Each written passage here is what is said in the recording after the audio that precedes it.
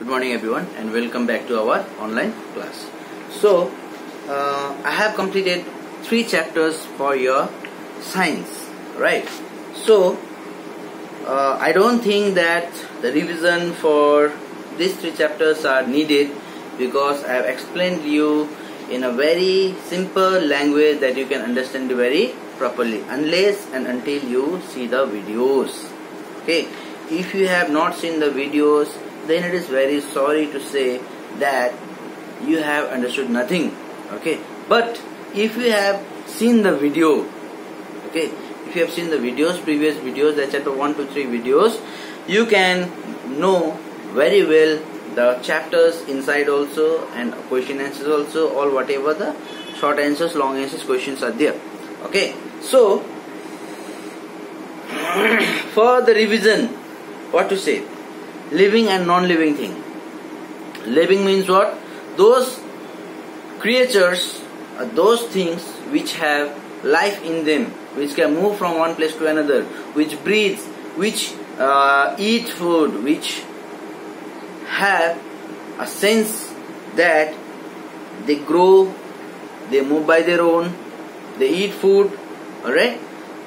These are known as the features of living things and non-living things they do not breathe, they do not move on their own, they do not grow, they do not need any kind of food as well as do not feel and reproduce. Alright. Then the features of uh, living things are living things breathe, living things move, living things grow. Yes? Uh, lifespan that living things are living up to a certain age and after that they are all have to die one day or the other. Living things need food. Without food, we cannot survive. Then living things feel the changes around them. That all the animals they are moving from one place to another. Animals have the sense organ like us. We human beings also have the sense organ. Five sense organs which helps us to feel the changes around us. Okay. Then uh, reproduction. Reproduction means what? The process by which the living things reproduce of their own kind uh, our parents they give birth to us that means what our parents have also reproduced our mothers have reproduced us okay? Right. Then we in chapter number 2 we have talked about the human body. Human body means our own body. How many different different uh, how many different different organ systems are present organs are present inside our body. That also that, that also we have understood right we have talked about the internal organs and external organs. Internal organs which are present inside our body which we cannot see which are present inside our body like heart uh, heart lungs kidney these all are what? Internal organs okay? External organs which are seen outside like ear okay? Nose eyes skin these all are what? External organs of our body right? Different different types of uh, different different types of organ systems are present in, in our body. So we have learned few in this chapter and uh, later on we'll be learning more and more. Okay? Internal organs are what? Brain heart stomach intestine kidney liver bones. These all are what? Internal organs. Now we'll talk about respiratory system. Respiratory system means what? Which helps us in breathing all the organs which helps us in breathing is known as respiratory system like nose okay?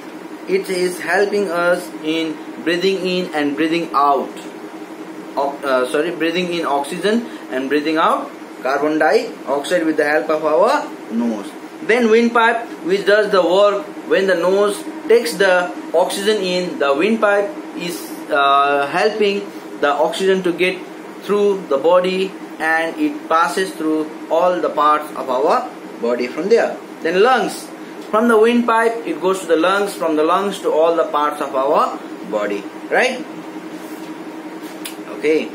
We'll talk about deep breathing. Deep breathing means what? Taking more of oxygen and giving out more of carbon dioxide, which is helpful for our body. And how we can do this? We can do this with the help of your yoga and meditations. Alright.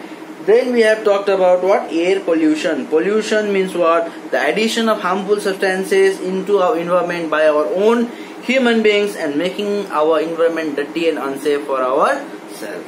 This is known as pollution okay and pollutant means what any harmful substance that we are adding to the environment those are known as pollutant causes of air pollution causes of air pollution what smoke when we burn the fire smokes are present over there. That smokes are also the causes of air pollution. Harmful gases and chemicals from released from the vehicles. Vehicles when we uh, start the vehicle bike or a car the smokes are coming out or the harmful or the chemicals are released from them from the gases. These are also the causes of air pollution Next we talk about the smoke that is released from the solid waste such as garbage, rubber tires, crackers and the woods when we burn any gases, uh, when we burn any uh, materials like rubber, garbage or crackers or wood.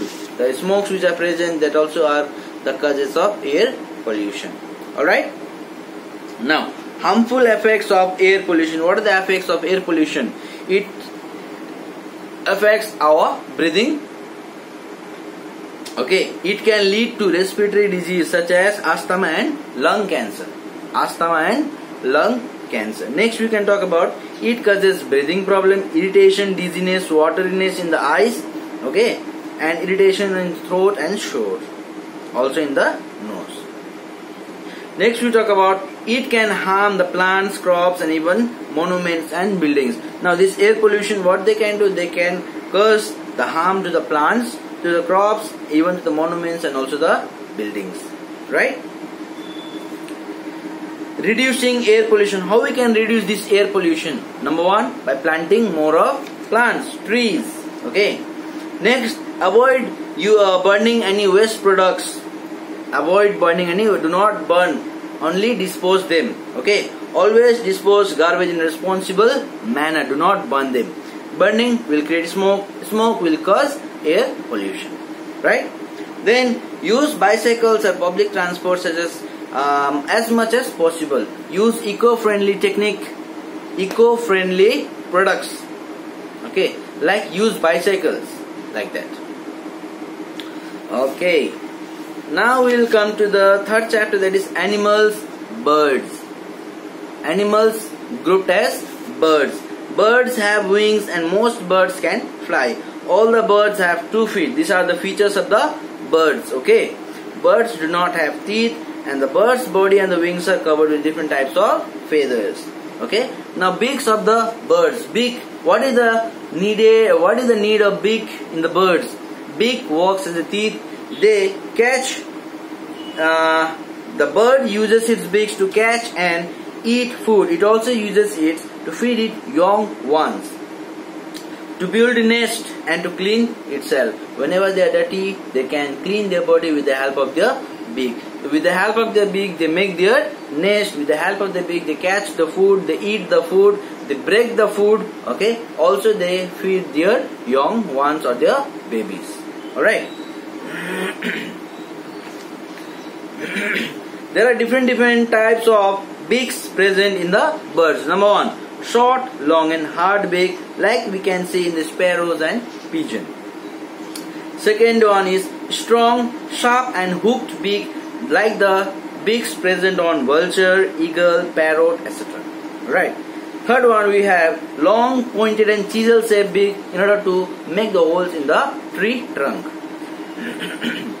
Broad and flat beak like the water birds like duck and geese okay they have a broad and flat beak.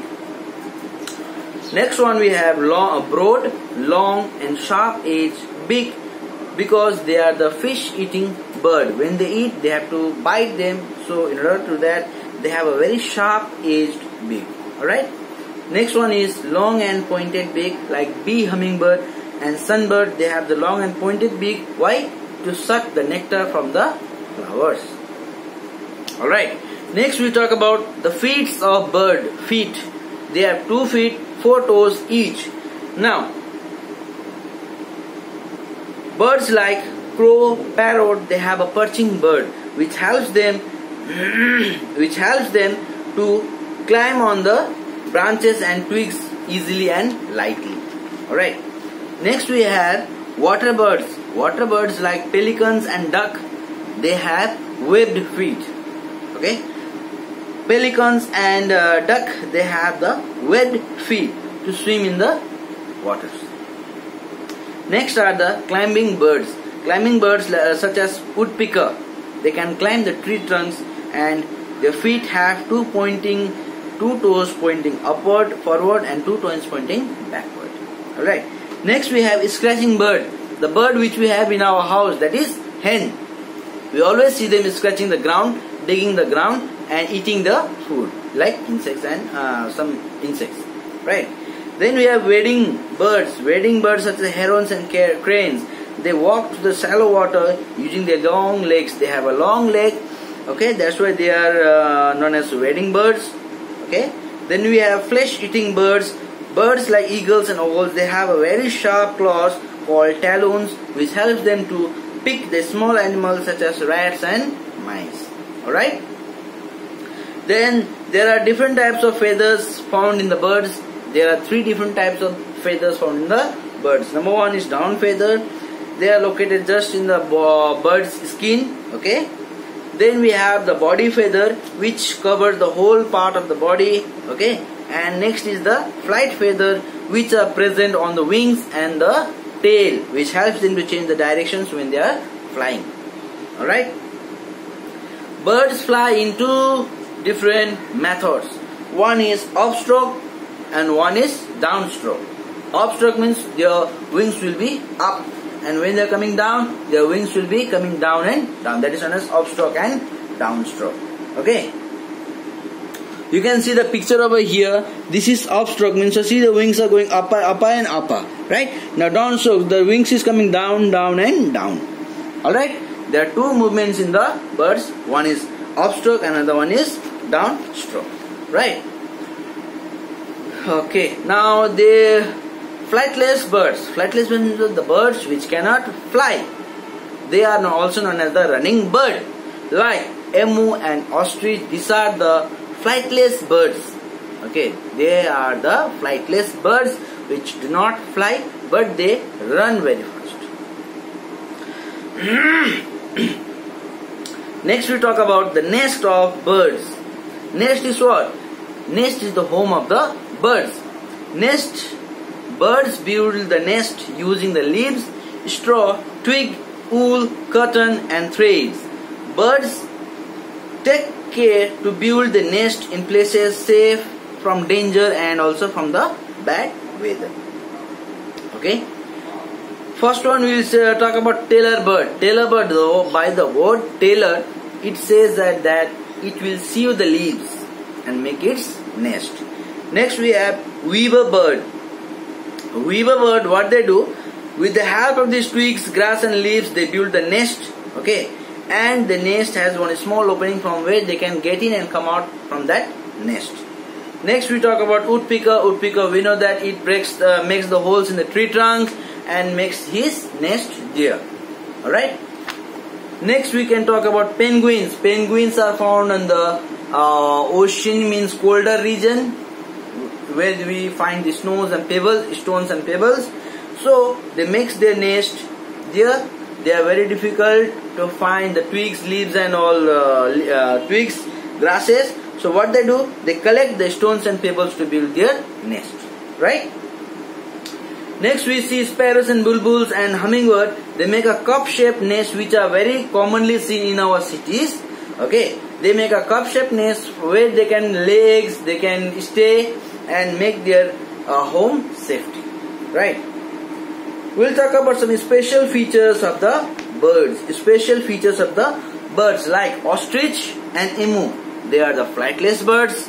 Ostrich is the largest bird in the world and also ostrich egg is the largest egg in the world. Okay. Bee hummingbird. It is the smallest bird in the world. And also cuckoo does not build its own nest. When when they uh, feel like to give uh, lay egg they go to the other nest and they lay egg. Okay? Parrots they imitate the voice and also talk with us. This is also one of the special feature in the birds. Pigeons they move from one place to another very far far. Okay? They can go very far. Pigeons mostly stay near home, you know, uh, human homes, usually nooks and corners of the roofs. Now we can see the nest of the pigeons where? In our home roof, rooftops, roofs, right?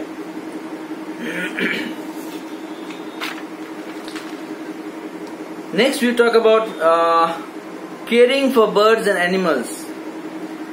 Caring for birds and animals. Do not heat the birds. Okay, birds like animals, birds also need to be looked after, especially during the hot summer months. Placing bird baths in open places around the houses and gardens are one of the way of helping the thirsty bird. Bird bath means what? In a container, you keep some water. The birds, when they are, uh, when they will be coming in from the very hot uh, weather, a very summer hot condition, what they can do? They can come and dip themselves, take bath, drink water, and quench their thirst. Alright, this is known as bird bath. Then another thing is that bird feeders in a small container keep some grains as a food for the birds, for the hungry birds. Okay, all the birds they are not always eating. Some birds are in, always searching the food, but they are unable to uh, search the food. So what happens? They are remaining hungry. So in order to have these birds, what we can do in a small container, we can keep some food or the nuts in the open place where the birds can come, eat, and then right now, you should take care of your pets in the following ways. When we keep our pets, we have to take care of them, right?